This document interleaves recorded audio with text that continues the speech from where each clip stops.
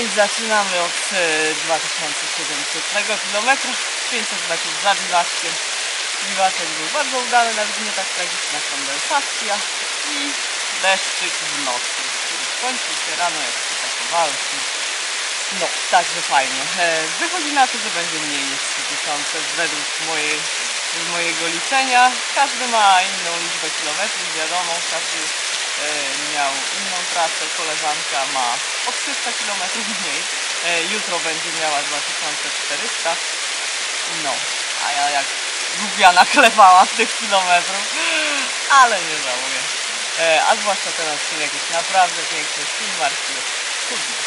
Szkoda, że będzie tak parszywa pogoda, ale jeszcze nie teraz, jeszcze nie.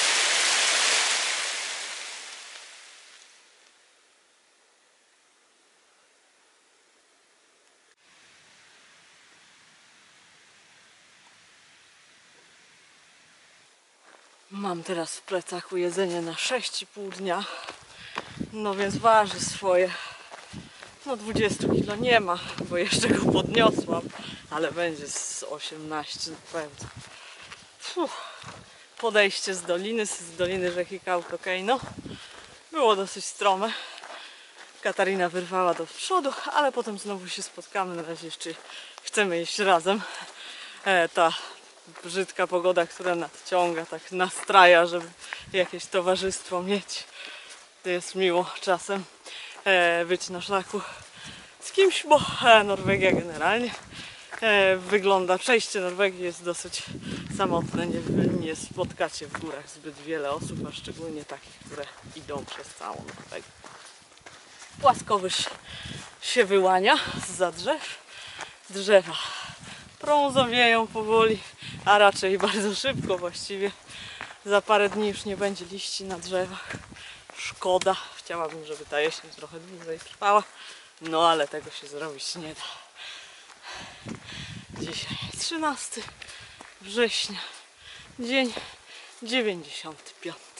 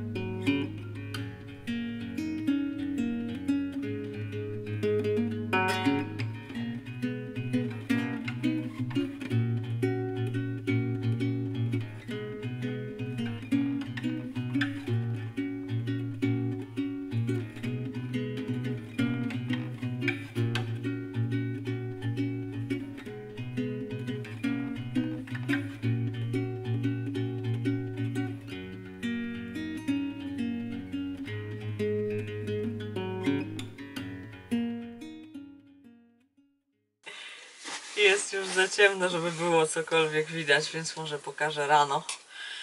Ale znalazłyśmy schronienie na noc. E, Wiedziałyśmy o tym miejscu wcześniej. Ktoś nam powiedział, że jest otwarta przyczepa kempingowa i taka, e, taka mała szopka. No i że jest taka opcja, żeby się tam schronić, więc no cóż, wlazłyśmy. E, wszystko zostawiamy w najlepszym porządku, to znaczy tu jest straszny bajzel, ale zostawimy bajzel dokładnie takim, jaki był, nic swojego nie dodamy. No i cieszymy się z tego schronienia. Nie jest to najcieplejsze miejsce, ani, ani najbardziej przytulne, ani najczystsze, ale, ale mamy w każdym razie schronienie, e, starą przyczepę kempingową, która stoi tutaj na szczycie górki. Takie miejsca czasem są właśnie zostawiane otwarte, żeby, żeby można było znaleźć schronienie w czasie niepogody, a właśnie niepogoda się zbliża. Trochę popadało, pół godziny, a no właśnie w nocy ma zacząć padać totalnie i to już następne dwa dni będą straszne, a kolejne dwa takie sobie ogólnie deszczowo bardzo. No więc teraz idziemy sobie s- patrzeć po prostu w naszych ulubionych śpiworach. Nie możemy się od nich odkleić. Wlazłyśmy do śpiworów od razu, jak tylko przestałyśmy wędrować. Kolacja, herbatka. Ja już jestem po kolacji. A Katarina czekała, aż nadejdzie pora kolacji, żeby nie być głodną w nocy. You're, you are waiting for dinner. You are, Yes. So you are not hungry at night. No, to night nadchodzi, więc na razie. Night is coming. Night is coming.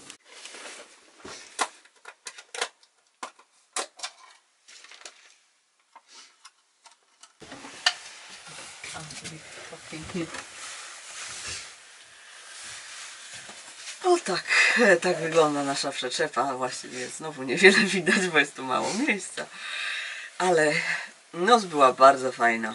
Bardzo było sucho, więc było ciepło w śpiworze i przyjemnie. I, na razie nie leje. Wciąż. Zapowiadam ten deszcz już chyba tydzień. Na razie go jeszcze nie ma, ale no, pewnie będzie. Pewnie będzie. Katarina właśnie przygotowuje sobie już lunch, żeby nie musieć w deszczu zwijać rapów. Ja też już mam zrobioną kanapkę. No, zwijamy się i, i lecimy. Mamy 23,5 km do bardzo przytulnej chatki z piecykiem, więc jest motywacja.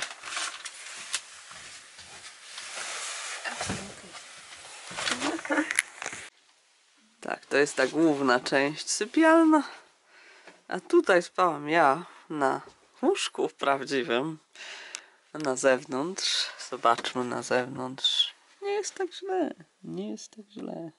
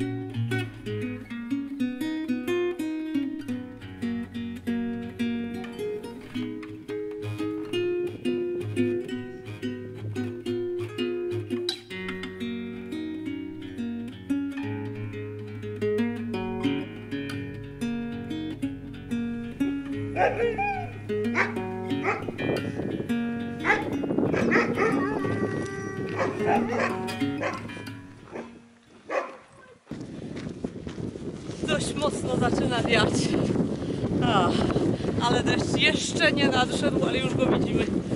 Idzie z południa tym razem. Idę w Getrash Power Stretchu. Nie jest mi jakoś bardzo za gorąco. Wręcz jest tak w sam raz. Minęłyśmy schronisko Jotka Jerwi, prywatne schronisko, w którym trzymają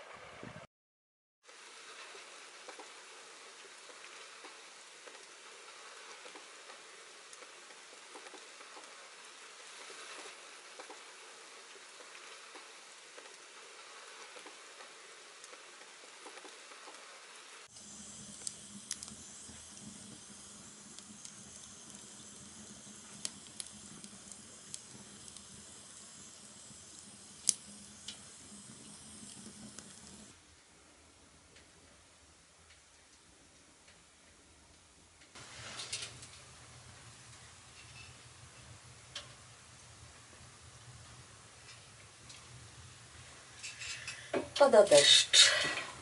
Mamy rozpalone w piecu. Noc była bardzo komfortowa w suchym miejscu. No i teraz wygląda na to, że będziemy sobie tu siedziały dzisiaj, że będzie trzeci mój dzień zero na szlaku, bo, bo pada, to po pierwsze, jest zimno, wieje, nie jakoś strasznie. Jest taki średni deszcz i taki średni wiatr. Ale jeszcze jest problem z tym, że znowu będzie niedziela i sklep będzie zamknięty, więc nawet gdybym lazła w deszczu, to i tak nie wyrobiłabym się do sklepu. Więc czemu nie skorzystać z tego miłego miejsca? Chyba, że zdecydujemy, żeby wyjść po południu ewentualnie. Zobaczymy. Na razie śniadanko, kawa, herbata, kanapki, tam pewnie będzie musli, zobaczymy. No i po, wciąż suszą się nasze rzeczy po przedwczorajszym biwaku.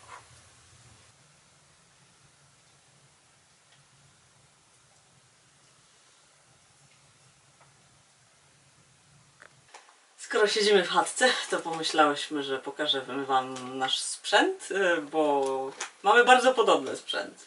E, W Norwegii i na Norge Polangs nie ma zbyt wielu e, ludzi idących na lekko. There are not too many uh, high, lightweight hikers. No, not the- Norwegian. So when we met, it's like, oh, there's another one. e, tak, jak się spotkałyśmy, to właśnie, o, ty też idziesz tak samo i mamy bardzo podobny sprzęt, więc to jest dosyć zabawne. Obie mamy namioty Zipaxa.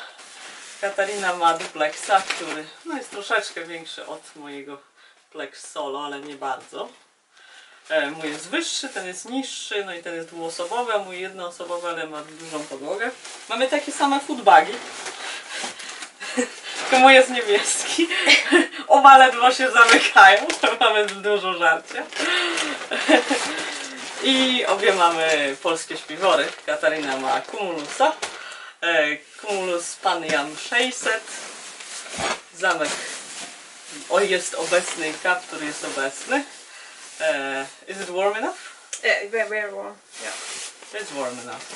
No, a ja mam mojego Robertsa, też czerwonego, też polskiego, też 600 gramów plus 60 na poszerzenie, prawie ten sam kolor, z tego samego miasta, same city that they were Really? produced in. Oh. Yeah. so, it's really cool. No, obie mamy lekkie kurtki przeciwdeszczowe, które przeciekają.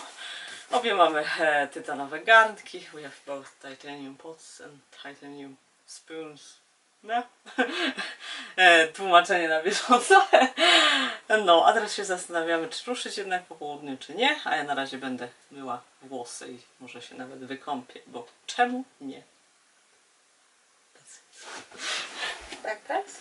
O, o, zapomniałam o, zap, e, zapomniałam o plecakach, tak obie mamy lekkie rolowane plecaki, is it possible to lift it? Hyperlight Mountain Gear. E, no jeden z najpopularniejszych e, plecaków ultralight. Dobra wersja z materiałem na kieszenie zamiast takiej siateczki, którą czasem niektóre modele posiadają, ona się strasznie lwie. Good choice that you have the fabric on the Yes, I like on the the fabric. pockets instead of this mesh, yeah. E, no, a ja mam, wiadomo co mam. Mam, no I, I don't even know where it is. It's down there. Wiecie jaki mam plecak on my way, więc, więc nie będę go wygrzebywać spod stołu. No to he, teraz już chyba wszystko.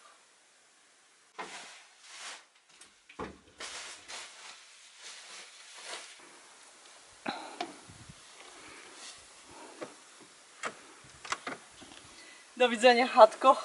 Nie leje. Postanowiłyśmy się wygrzebać wczesnym popołudniem i podejść na biwak 19 km, więc ostatnia chatka DNT. Żegnaj, a może do zobaczenia kiedyś w przyszłości.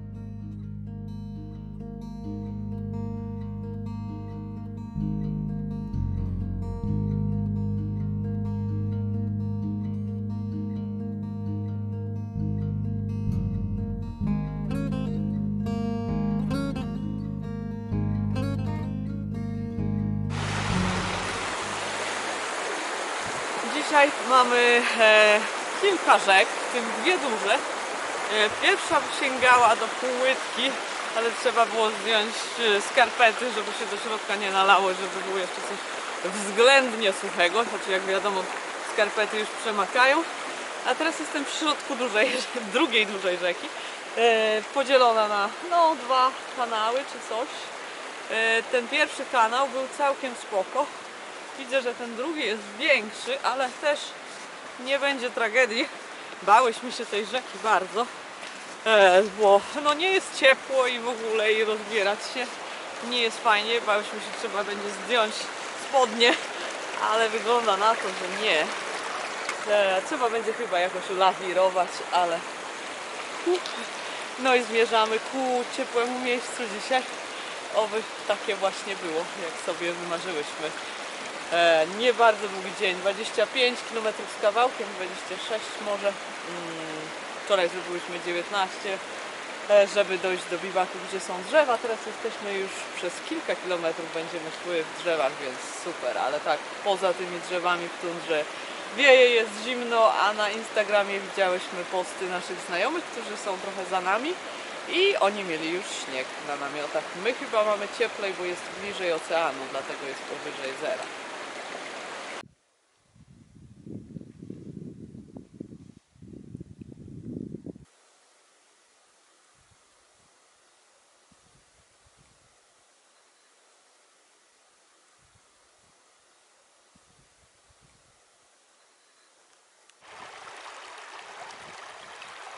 Tej rzeki nie zauważyłyśmy na mapie, ale nie jest zła.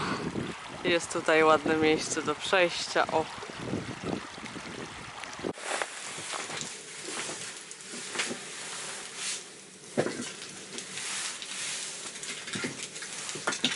So two big ones at the bottom. yeah. Okay. And then the birch bark on top of that, so it's warmer from the bottom. And then small pieces of wood. Every time, two of them and two of them across on top. So that's like. Probably it will work.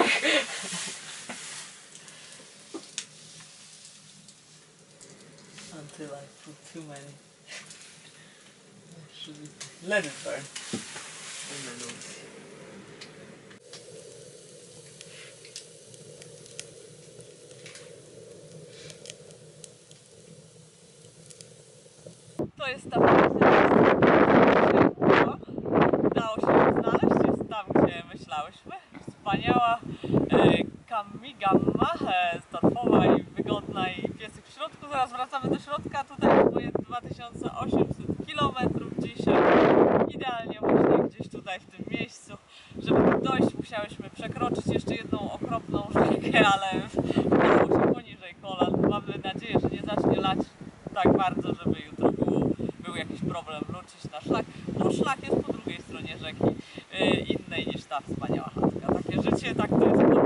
2008.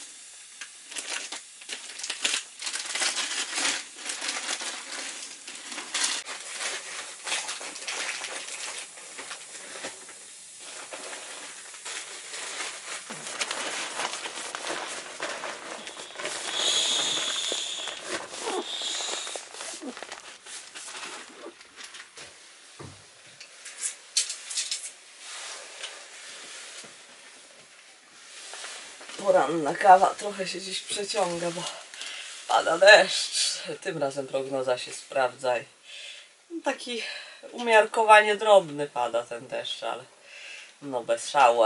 Schronienie jest naprawdę cudne. To jest e, zrobiona dla turystów, ale w tradycyjnym wymiarze gamma, czyli kammi, czyli, czyli torfowa chatka na stelażu z e, brzozy. Takie już pokazywałam wcześniej, ale pierwszy raz w takiej fajnej e, śpię, a raczej śpimy e, i się grzebiemy. Wczoraj przyszła trzyosobowa grupa, rodzina z psem w nadziei, że chatka będzie wolna, ale już nie była wolna. E, nie chcieli spać na podłodze, rozbili sobie namiot obok chatki i przyszli na kolację i, już się właśnie zwinęli przed nami. I mm, dziewczyna Ingrid się nazywa, zaprosiła nas do Alty, jak już skończymy no, na Nordkapie niech się Roddenie, e, ponieważ e, jest bardzo hiker friendly i sama przeszła Norgę Polansk 5 lat temu i teraz chciałaby odwdzięczyć się za różną dobroć, której doświadczyła podczas swojej wędrówki, więc mamy miejscówkę w Alcie zapewnioną, a ja bardzo chcę odwiedzić Altę, więc świetnie się składa. No, rozpaliłyśmy sobie jeszcze piecyk rano, mm, żeby się trochę ogrzać i, i żeby było przytulnie do kwadratu. Dziś nie planujemy długiego dystansu znowu. 23-24 km, bo ma być otwarta chatka hodowców reniferów. Więc to jest dobra opcja na deszczowy dzień. Trochę się zapętliłyśmy w tych krótkich dniach i finish nie jest tak blisko jak być powinien, ale po prostu na samą myśl o biwakowaniu w deszczu i wichrzy na jakiejś górce bez sensu się odechciewa. Miejsca lepsze, takie jak chatki albo kawałki lasu są w określonych od, jakby odległościach od siebie, no i tak wychodzi. No, to w sumie nie ma takiego znaczenia. E, Nie, nie uda mi się osiągnąć 100 dni przejścia. Jutro będzie 100 dni, dziś jest dzień dziewię- 99, więc wszystko już jedno, ile tam wyjdzie, 100 ileś. No, także ruszamy się zaraz w drogę i do, miejmy nadzieję, kolejnego fajnego miejsca. To jest rzeka, którą musimy przejść drugi raz, żeby wrócić na naszą trasę. Katarina zaryzykowała tam po skałach, no a ja jednak klasycznie w wolnym nurcie tutaj będę przechodzić. No, muszę zdjąć skarpety, żeby nie były od razu przesiąknięte. Wiele dziś nie zobaczycie, bo jest okropna pogoda. Kulimy się właśnie za pagórkiem, usiłując zjeść lunch. E, widzicie, jakie są okoliczności. Pada deszcz, wieje silny wiatr 12-13 metrów na sekundę. E, miał ten deszcz jakoś trochę ustać, ale nie ustaje i wszystkie strumienie są tutaj dosyć mocno wezbrane. Przekroczyłyśmy jedną z trzech przewidzianych na dzisiaj rzek. Była wezbrana, ta poranna też była wezbrana to, i w prognozie cały czas tu się utrzymuje deszcz. Zdaje się, że był cały czas przed nami, a po prostu my jeszcze do niego nie doszłyśmy, ale tutaj cały czas pada, więc jest bardzo mokro. Idziemy w bagnie cały czas praktycznie. E, no, może połowę czasu. No i zimno jest w szkole. Nie, bo Katarina ma e, buty trekkingowe, przez które aż tak woda nie przesiąka jak przez moje trampki. E, no, ale wiedziałam, że tak będzie. E, ale dzisiaj był obrzydliwy dzień. E, mamy nadzieję na ten dach nad głową na noc, ale nie wiemy ani czy będzie ten dach, ani czy będzie ten. To trzymajcie kciuki, życzcie nam powodzenia. Kończymy lunch. Jest rzeka, którą szlak każe przekraczać aż trzy razy. Tutaj jest jeszcze w miarę, w miarę, ale tam wyżej była okropnie wielka. Wymyśliłyśmy swój własny szlak, szlaku, po drugiej stronie rzeki, tak żeby jej w ogóle nie przekraczać. Wzdłuż płotu reniferowego mamy nawet drogę i całkiem nieźle nam idzie, tylko że jest obrzydliwa pogoda, no i to tyle. Lecimy dalej. No i jesteśmy pod dachem. O, ależ to był dzień. Na pewno jeden z najgorszych na szlaku. Cały dzień lało, no może nie lało, ale padało i tak uporczywie zimny ten deszcz i ledwo parę stopni powyżej zera i bardzo silny wiatr. No nie było fajnie. I nie byłyśmy pewne, czy to miejsce będzie otwarte i czy w ogóle istnieje. Bo że coś jest na mapie, to już wiemy, że nie znaczy, że na pewno istnieje.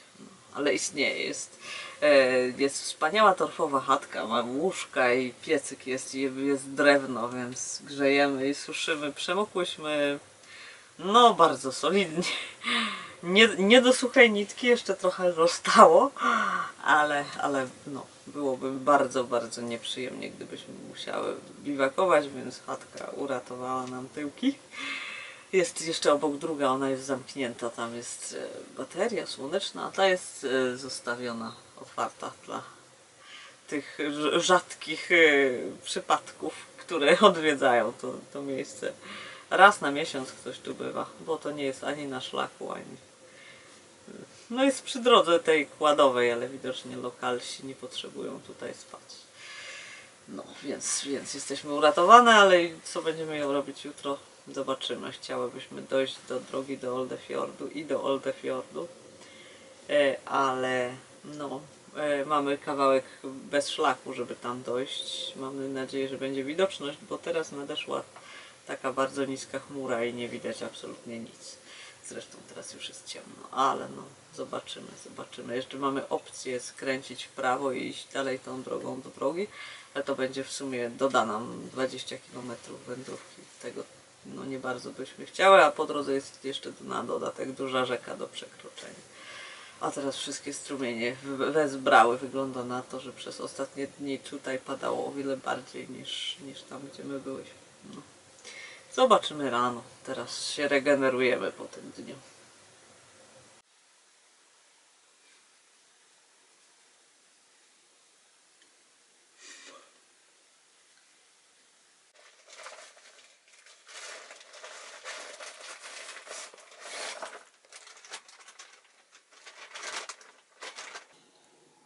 Poranek nadszedł zdecydowanie zbyt szybko.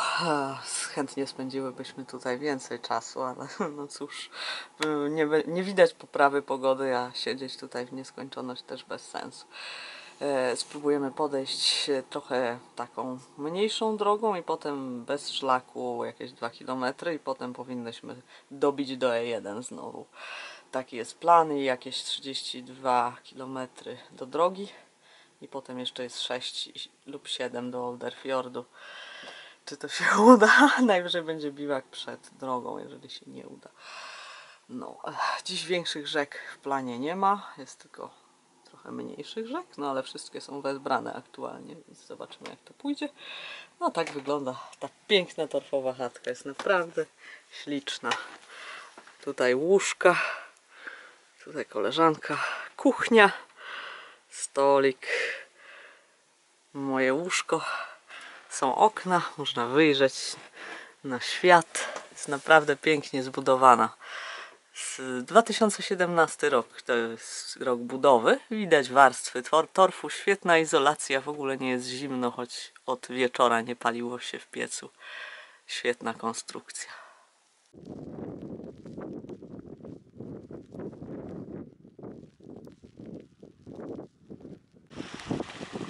Widok na naszą miejscówkę idealnie wtapia się w krajobraz. Najbardziej widać łodzie, które są na brzegu jeziora. A te ciemne konstrukcje to właśnie dwie typowe chatki. Piękna plaża, ale może innym razem. Szlakiem płynie woda, totalnie jest wszystko zalane.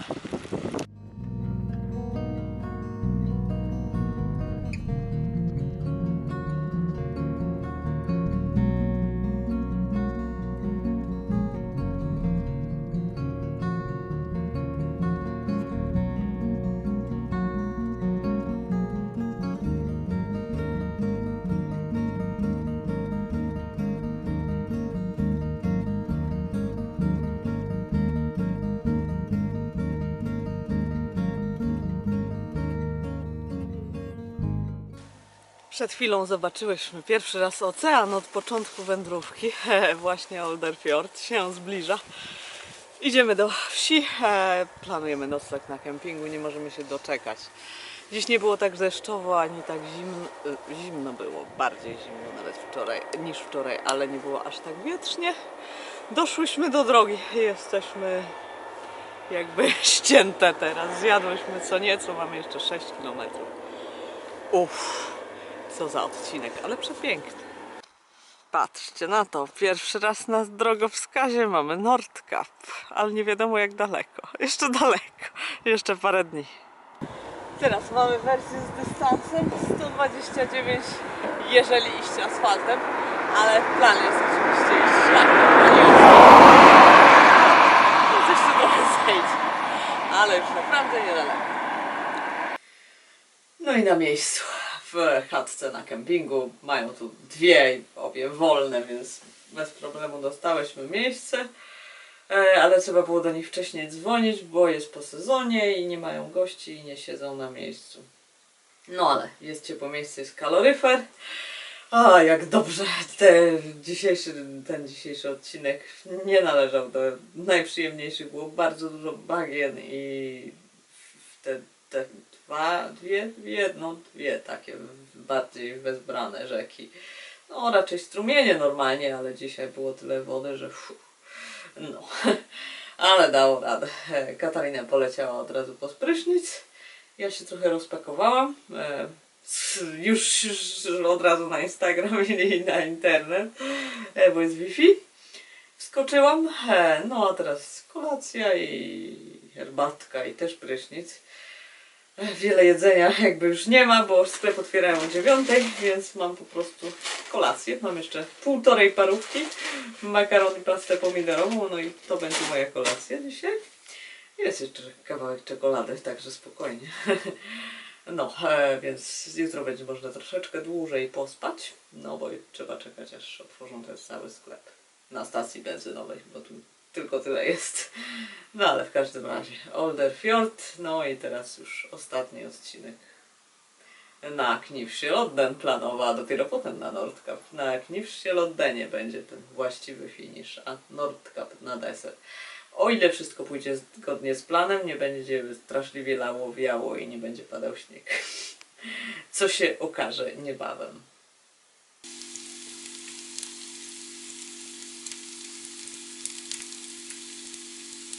Parówki z cebulą i ryż z pastą pomidorową. Najdziwniejsze potrawy powstają na tej wędrówce.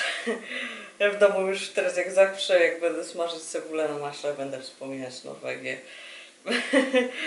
E, Tyle się tu jej nasmażyłam. To jest ryż trochę dziwny z tym, tą pastą pomidorową, ale e, zamiast ketchupu, bo nie mam. No. No słuchaj, godziny. Mm, Po tych całych bagnach, po tych rzekach lodowatych, o, cały dzień zmarznięte nogi. Jak wzięłam gorący prysznic, to teraz totalnie mnie ścina i zjem tę swoją kolację i idę spać natychmiast. Ostatnie zakupy na szlaku, ostatni resupply w Olderfjordzie. Właśnie otwierają sklep. Katarina na ogół zdrowo się odżywia, ale właśnie zmieniła koncepcję. To jest jej drugie śniadanie. A tutaj, tutaj mamy już chipsy i ciasteczka i to nie jedne. Także totalna zmiana koncepcji. E, tak, na szlaku potrzebujemy więcej kalorii niż normalnie. No nie są to lekkie zakupy, ale no już ostatnie. Jogurt zjem na miejscu, kiełbaska, chleb, oczywiście zestaw zupek, proszku i do tego jest ryż, który ma się gotować 5 minut, jeszcze go nie próbowałam.